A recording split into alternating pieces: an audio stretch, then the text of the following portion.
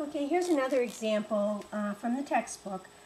Take this fraction and write it as a sum of terms. So the first step would be to separate it out. x squared over x plus negative 4x over x plus 2 over x.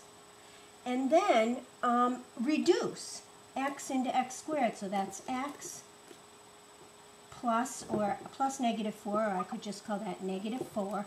But when I try to reduce this, there's no x. But if I want it as a sum of terms, typically that means no fractions. Then I have to move this x to the top of the fraction. So it becomes 2x to the negative 1. So you learned negative exponents last year. So that's a little bit tricky. That's another way to write this particular problem. Now, same thing goes for this one. This one's a little bit trickier though.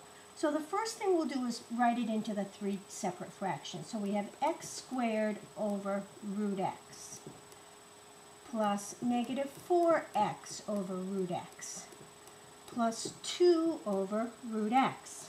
Well, I need that written in exponent form. So what's another way to write square root of x? What exponent would that be? Hopefully, you know that that's x to the 1 half. So I have x squared over x to the 1 half plus negative 4x over x to the 1 half plus 2 over x to the 1 half. Now, if I simplify that by reducing, right, x to the 2 is really, if I want to use the same fraction, I could call that 6 halves. So 6 halves take away 1 half is 5 halves, so that becomes x to the 5 halves, working with exponents, important in algebra here. All right, exponent here is a 1, so that's the same thing as 2 halves. So 2 halves take away 1 half would be 1 half. So minus 4x to the 1 half.